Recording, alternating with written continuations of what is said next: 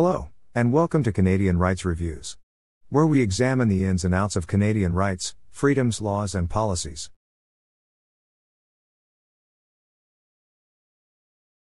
Today's video comes to us from What's Up Canada and highlights the story of former Saskatoon police officer Nathan Lynchuk.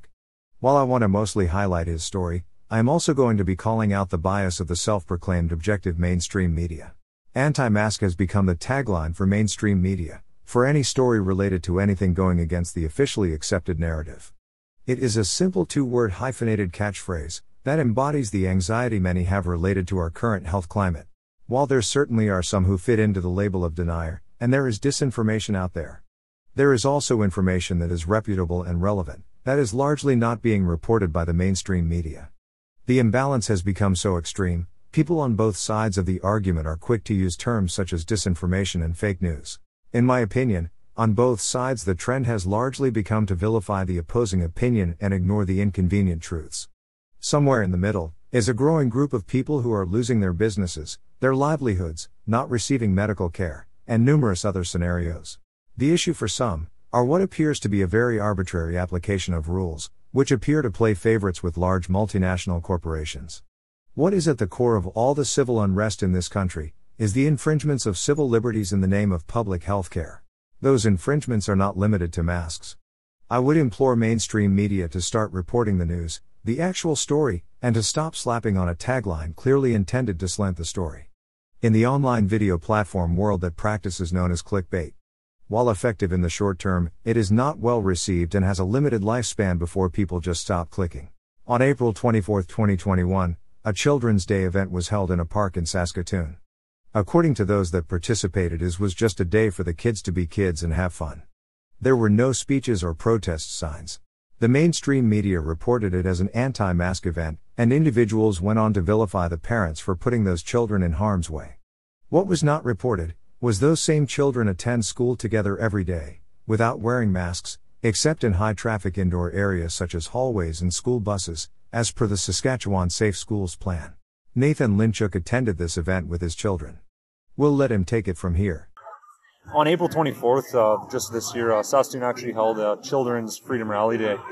Um, and that day, I wanted to bring my family. I wanted to, my family to have a normal day for once, and my kids to go into a park and play and have a normal day with other kids. Um, so we decided to go to the uh, Freedom Rally that day, the Freedom Children's Rally, and I let my kids have a normal day for once. Um, it was an awesome day, super nice. All the kids played with other kids, got their faces painted. It was a great day. Um, what ended up actually happening, uh, Saskatoon City Police actually did have uh, other sorry members of the service there watching over the watching over the the, the children's event in the park. Um, also, people taking pictures there at the park. Uh, just other Saskatoon police uh, officers. I was photographed at the uh, event. Um, this was brought to my superiors at the service, and obviously I was contacted uh, on Sunday evening before I had to go back to work on Monday morning, and told I wasn't allowed to come back into work uh, because I was alleged to have attended a children's freedom rally. Um, a was, children's freedom rally. Yeah, children's freedom rally. So it was just a children's event. There was actually even no speeches about what was going on, nothing in those regards. It was just a day in the park for the kids to just have a fun, normal day. Kids being kids. Yeah, kids being kids, exactly. Um, and after this uh, year long of them not being able to see as many of their friends, stuff like that, uh, I wanted to give my kids something normal. I wanted to give them something um, that they could look forward to. So, can you describe the feeling that you felt from the kids that day, maybe before we go any further? Well, my kids haven't stopped thanking me since uh, right, taking them that day. Nice. Um, and it's a pretty good feeling uh, when you got your kids uh, thanking you for these sort of things, especially when you haven't seen it in the past 12 months. Um, and I guess the the big thing for me is is that I've, I've always been a man who's put his family before his job, and that's what it was. It was what it was a job at the end of the day, and it was a job that was starting to ask me to do things that I wasn't comfortable doing and things that I didn't swear an oath to do. Uh, I'm very much a believer in that we are a police service, that we are a service to the people. We're not a service to government officials. We're not henchmen for government officials. We serve the people. Um, and I've you. carried that every day uh, in my job. And I was involved in a lot of major incidents at work um, in the eight years that I was there. Um, and it's very disheartening when you start to see um, your own police service uh, stand for something that isn't right and stand for things that uh, are not serving the people but actually becoming a detriment to society itself. Uh, and so, basically, back to my story of what happened. Uh, my superiors contacted me and basically told me that every day uh, when I showed up to work for the rest of the week, I had to stay inside the office, had to stay at a compu- stay behind a computer screen at, screen at my desk, I do my work from there. Uh, and as a police officer, I'm not one of those police officers. I was a guy who liked to be out in the community with people, uh, talking to people, just seeing what was going on, um, help people as much as I can. Um, so naturally, that wasn't something I was going to agree with or do.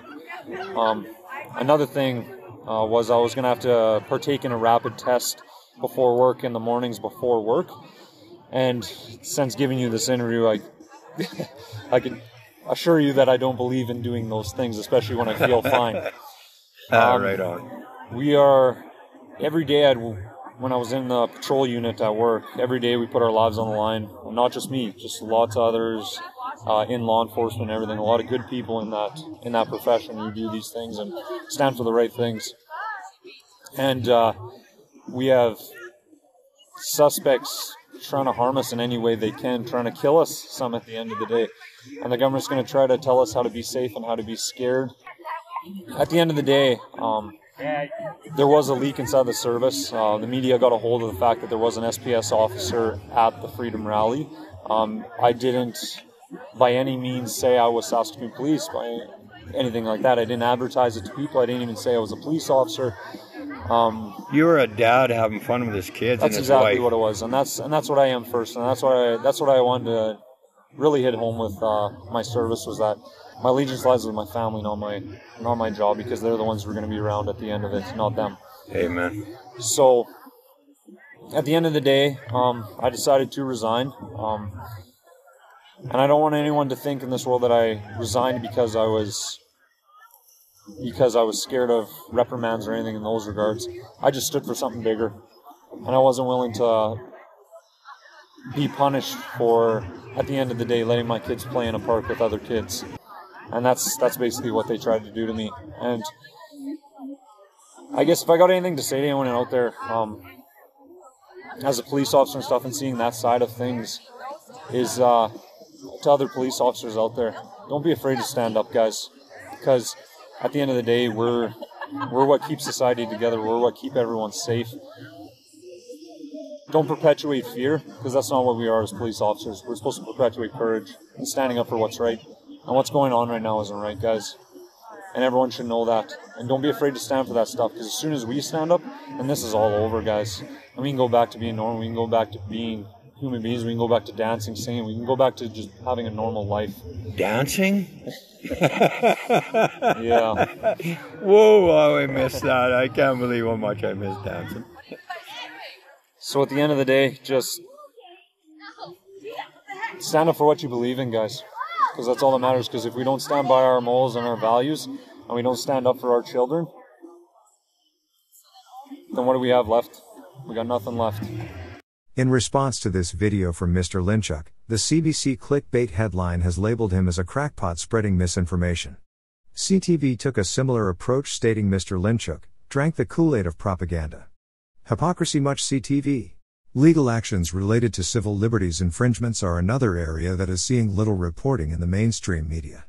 Recently, 19 active and retired police officers in Ontario have banded together to bring suit against the government in regards to declarations of emergency and public health measures contravening the Charter of Rights and Freedoms.